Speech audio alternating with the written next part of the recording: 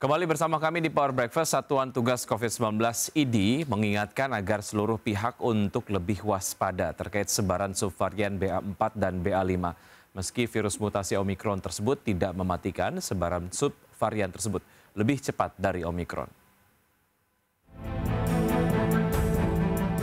Sebaran subvarian Omikron baru BA4 dan BA5 yang telah masuk ke Indonesia diakui menjadi penyebab lonjakan kasus COVID-19 dalam sepekan terakhir.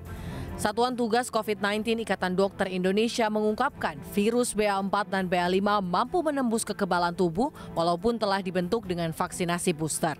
Ketua Satgas COVID-19 Zubairi Jurban menyebut sebaran subvarian Omikron tersebut lebih cepat dari Omikron. Lantaran negara yang tersebar tercatat lebih banyak dari biasanya.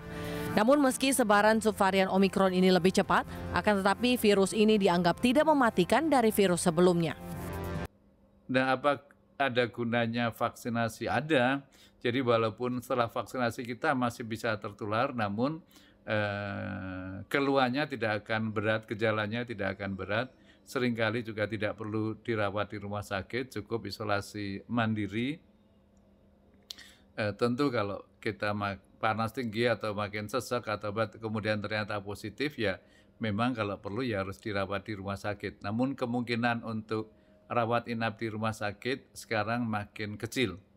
Kalau kita sudah vaksinasi dua kali, apalagi kalau kita sudah booster.